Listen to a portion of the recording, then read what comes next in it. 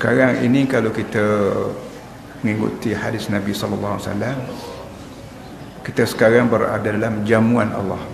Ma'dubatillah. Idza marartum bi ma'dubatillah farta'u Nabi pun sabda kalau bila kalau kamu lalu tempat Allah buat jamuan hendaklah kamu berhenti makan sekejap. Qalu ma ya rasulullah? Qala majalisu zikr bila nabi sebut bahawa kalau kamu lalu tempat Tuhan buat jamuan kena berhenti makan. Sahabat nabi tanya apa itu majlis jamuan Allah? Kalau kami buat jamuan tu kami fahamlah.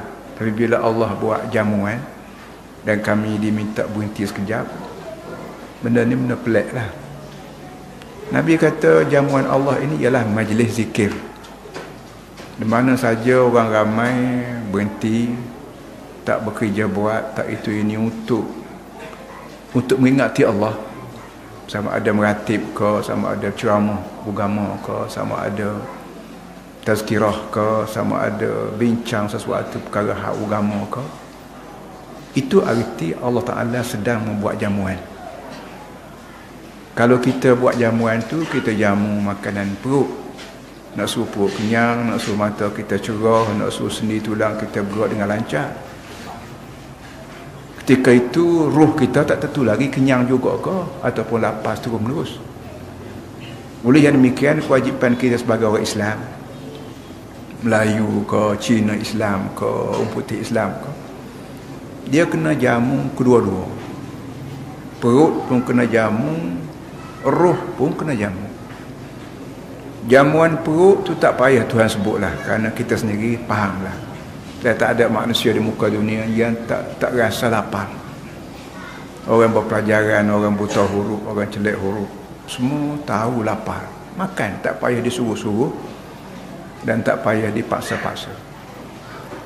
Ya, jadi masalahnya ialah tubuh kita ni ada satu lagi komponen dia iaitu roh sawaitu fihi wa nafakhtu fihi min ruhi faqa'u lahu sajidin tubuh kita ni ada roh sama ada kita nampak tengok ke boleh jamak ke tak boleh tengok ke. Tapi tukang yang membuat kita sendiri ni iaitu Allah ni dia sebut bahawa dalam tubuh manusia ni ada roh aku tiup masuk roh aku.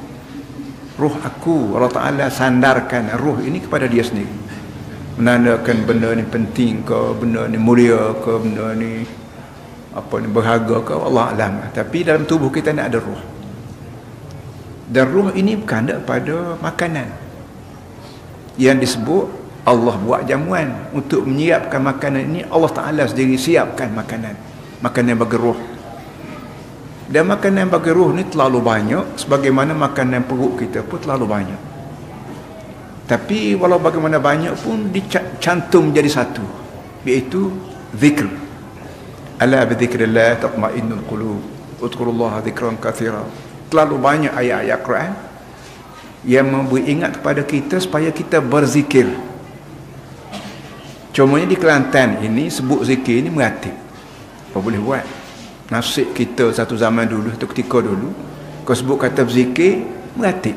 Tak lebih pada itu Sedangkan zikir maknanya zikir maknanya ingat pada Allah. Sebut syurga neraka pun ingat pada Allah. Sebut halal haram pun ingat pada Allah. Sebut dosa pahala pun ingat pada Allah. Sebut Nabi Muhammad pun ingat pada Allah. Sebut Quran pun ingat pada Allah. Sebut nikmat-nikmat Allah di muka dia terlalu banyak pun ingat pada Allah. Apa saja cakapan kita yang boleh membawa kita ingat pada Allah, ingat pada nikmat-nikmatnya, kebaikannya dan perongohnya, Semuanya zikir kepada Allah semua.